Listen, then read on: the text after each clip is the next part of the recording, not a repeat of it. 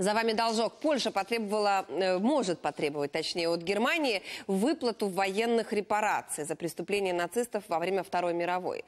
Сколько денег хотят получить поляки и есть ли у них шанс, разбиралась Татьяна Лагунова. Время репарациям не помеха. Спустя 72 года после окончания Второй мировой войны в Польше задумались, а сполна ли немцы заплатили за преступления национал-социалистов. Местные политики не исключают, в ближайшее время Варшава может выставить Берлину новый счет.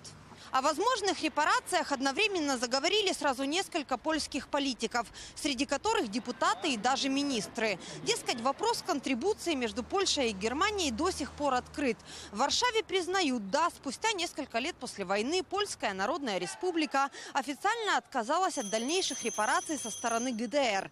Но отказ этот недействителен, так как решение было принято под давлением Советского Союза. Да и таких стран, как ПНР и ГДР на карте Европы Европы больше нет. А значит, можно заново подсчитать ущерб и потребовать репарации от объединенной Германии. По данным СМИ, вопрос сейчас рассматривает специальная комиссия Сейма. Свое решение юристы обнародуют через неделю. О какой сумме теоретически может идти речь, пока не говорят. Власти Германии, впрочем, уже заявили, ничего платить не будут. Для немцев вопрос выплаты репараций закрыт.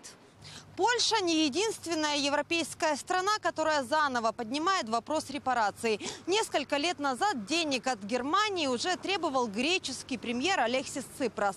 Греки насчитали баснословную сумму 280 миллиардов евро.